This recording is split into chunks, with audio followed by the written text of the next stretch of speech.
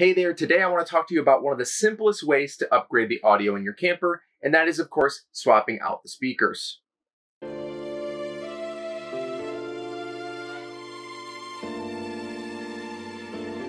Today we're in my Grand Design 17 MKE.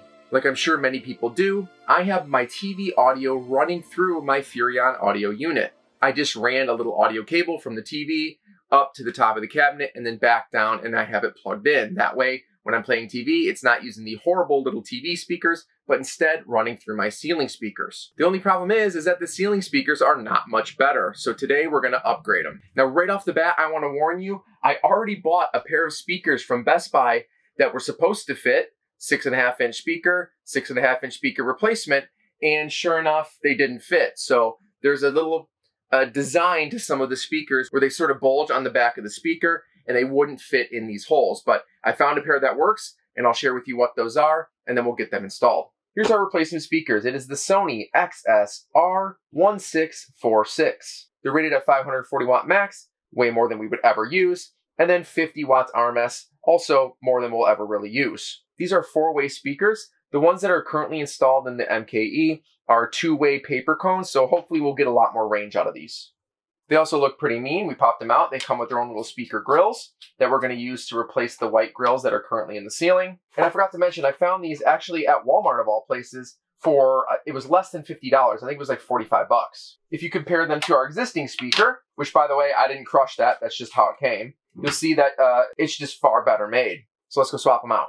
One thing I like about this is actually easier than working on cars, believe it or not. So to remove the grill, just grab it and then twist it to the left and it pops right off. Then grab a screwdriver and pull all, what is it, six, all six screws out.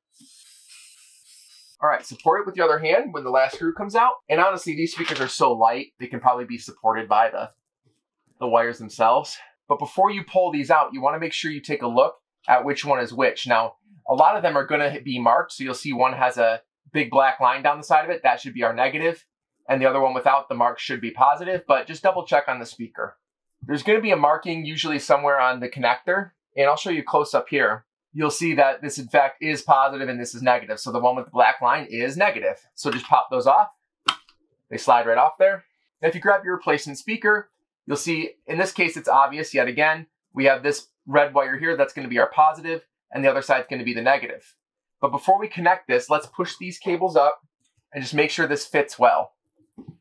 Just hold it up there, make sure it slides in and that it's flush with the ceiling.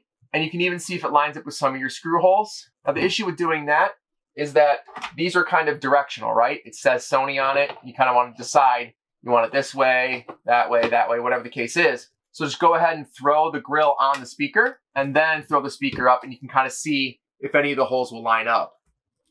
And in this case, they don't. So what I'm going to do is uh, the screws that come with this are tapping. So I'm just going to go in and just tap the four screws exactly where I want it. So that way, you know, it's not all catawampus and kind of weird looking. When you're ready, just grab your cables, hook up the positive to the positive, the negative to the negative. Now the negative is significantly thinner, but you should be able to get it to snap on. There we go, just like that. And now place it in and drive in your screws.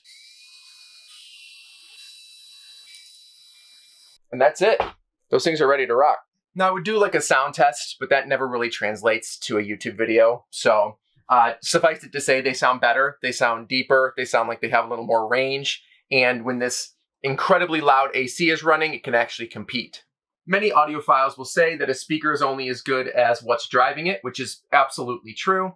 And if I do decide to upgrade my Furrion unit in the future, I will for sure have a video on it. Same goes for Zone 2 or the outside speakers. They're gonna be different size and a much different upgrade, but if I decide to do that, you'll see it right here. If you liked this video, if it helped you out, please be sure to scroll down and click that like button, subscribe for more content like this, and if you'll excuse me, I'm gonna go watch a movie.